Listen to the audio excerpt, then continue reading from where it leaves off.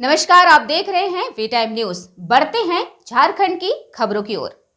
राष्ट्रीय स्वयंसेवक संघ सेवा विभाग राजधनवार की ओर से धनवार के बड़ा चौक में सुदूरवर्ती क्षेत्र से आए सैकड़ों लोगों के बीच मिठाई का वितरण किया गया। बता दें कि दीपावली के दूसरे दिन सुदूरवर्ती गाँव के लोग बड़ी संख्या में धनवार बाज़ार में दीपावली का प्रसाद ग्रहण करने के लिए पहुँचते हैं, जहाँ राष्ट्रीय स्वयंसेवक संघ सेवा विभाग की ओर से भी इन लोगों के बीच मिठाई का वितरण करने का काम करते हैं। इस दौरान जिला सेवा प्रमुख राजेश अग्रवाल ने कहा कि विगत दस वर्षों से सभी स्वयंसेवकों के सहयोग से सुदूरवर्ती क्षेत्र से आए वनवासी व जरूरतमंद लोगों के बीच मिठाई का वितरण कर खुशियाँ बांटने का काम करते हैं, जिसमें सभी स्वयंसेवकों का भरपूर सहयोग रहता है कहा कि जरूरतमंद लोगों के बीच खुशियाँ बांटना ही मानवता की सच्ची सेवा है। वही भाजपा के पूर्व जिलाध्यक्ष सुनील अग्रवाल ने कहा कि प्रत्येक वर्ष की भांति इस वर्ष भी दीपावली के अवसर पर राष्ट्रीय स्वयंसेवक संघ, राजधनवार के स्वयंसेवकों द्वारा दूर दराज से आए जरूरतमंद लोगों के बीच मिठाई का वितरण करते आ रहे हैं और एक सेवा करने का काम कर रहे हैं।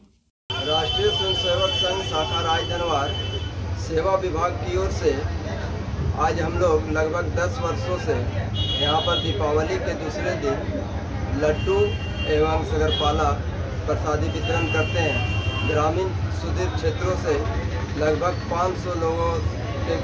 बीच में यह प्रसादी वितरण किया जाता है और हम लोग बराबर अनवरत इस तरह का कार्य करते रहे। आज दीपावली के शुभ अवसर पर राष्ट्रीय स्वयंसेवक संघ राजधनवार शिवाजी प्रभात शाखा की ओर से प्रसाद वितरण का कार्यक्रम गत वर्षों की भांति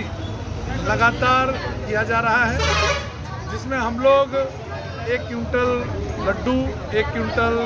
शक्करपाला का वितरण हर साल करते हैं और बाज़ार में आने वाले तमाम ऐसे श्रद्धालुओं को के बीच राष्ट्रीय स्वयंसेवक संघ राजधनवार की ओर से प्रसाद वितरण हर वर्ष किया जाता है।